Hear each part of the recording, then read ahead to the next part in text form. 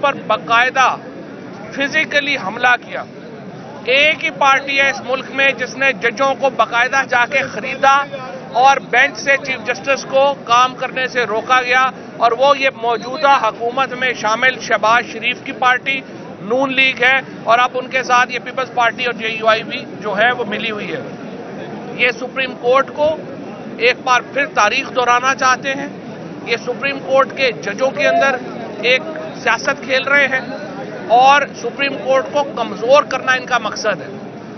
पाकिस्तान के अंदर हमने ये जो सुप्रीम कोर्ट है, इसको प्रोटेक्ट करना है और इसलिए प्रोटेक्ट करना ज़रूरी है कि इदारे अगर होंगे तो आइन बचेगा। इदारे नहीं होंगे तो आइन ही नहीं बच सकता।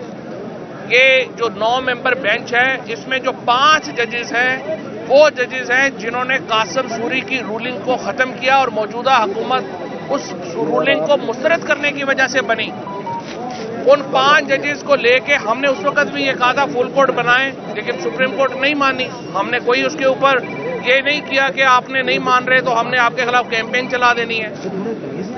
यहाँ पे हम नहीं कह रहे कि किसी जज को निकालना चाहिए या रखना चाहिए। हम समझते हैं ये चीफ जस्टिस पाकिस्तान का प्रेरोगेटिव है। चीफ जस्टिस पाकिस्तान भी एक इदारा है खुद। उसको भी कमज़ोर करने का मतलब सुप्रीम कोर्ट को कमज़ोर करना होगा।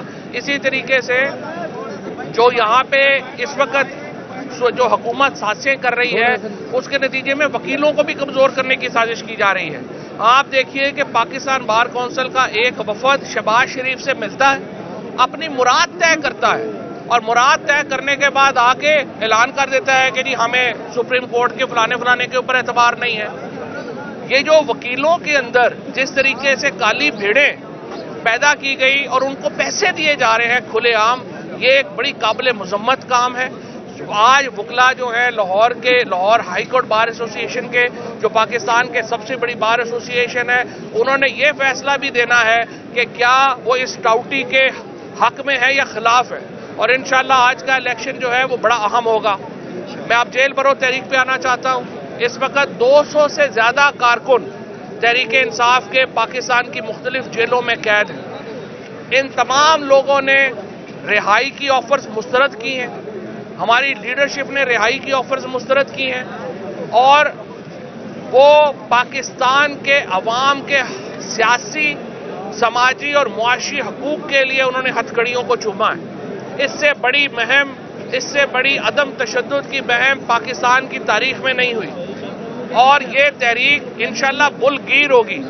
तमाम अगर अगर सुप्रीम कोर्ट के ऊपर दबाव को बढ़ाया गया या जारी रखा गया, अगर सुप्रीम कोर्ट के जजेस को ब्लैकमेल किया गया, अगर वकीलों के अंदर इस तरह से तोड़ फोड़ करके पैसे दे के उनको लैदा करने की कोशिश की गई तो हम मुल्क की तहरीक के लिए भी तैयार हैं। पाकिस्तान का अगर आइन ना बचा तो पाकिस्तान में कुछ नहीं बचेगा। ये वाहिद एक ऐसा दस्तूर है जिसके ऊपर सबका कंसेंसिस है।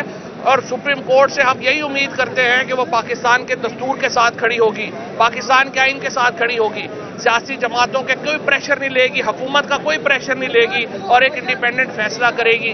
हमने जेल बरो तहरीक में किसी जो पार्लियामेंटेरियंस हैं, जो लोग हैं, उन्होंने अभी तक कोई हमने रिहाई का फैसला नहीं किया। पार्टी जो है वो उनके पीछे खड़ी है और देखना हमने ये है, आने वाले दिनों में कि पूरे पाकिस्तान ने आज़ाद होना है। या फिर पूरे पाकिस्तान ने जेल भरो तहरीक के लिए आगे बढ़ना है। ये दो ही ऑप्शन हैं और इंशाल्लाह पाकिस्तान कामयाब होगा, दस्तूर कामयाब होगा और आज का इलेक्शन भी इसी जिमन में एक कदम होगा। शुक्रिया। साहब आप ये कह रहे हैं कि रिहाई का फैसला नहीं किया गया जबकि इसके बरक्स लाहौर हाई कोर्ट में पटिशन भी दायर है और असद उमर साहब की पटिशन में ये प्रे की गई है कि असद उमर साहब को रिहा किया किसी ना असद उमर साहब ने ना शाम मुस्कुरैशी ने ना किसी ने किसी ने जो है वो ये नहीं कहा कि उन्हें जो है वो किया जाए। जो पिटिशंस फ़ाइल हुई हैं उनमें तीन चीज़ें हैं। नंबर वन उन्हें कोर्ट के सामने प्रोड्यूस किया जाए। Number two as a political worker उनके हकूक जो हैं वो उनको दिए जाए। मेडिकल और जो मुलाकातें हैं उनकी इजाज़त दी जाए। वो लोग जेल मैनुअल को इंप्लीमेंट किया जाए। ये पॉलिटिकल वर्कर्स हैं उन्हें दहशत गर्दों की तरह ट्रीट तो नहीं किया जा सकता। और इंशाल्लाह पूरा पाकिस्तान इन सियासी कैदियों के पीछे खड़ा।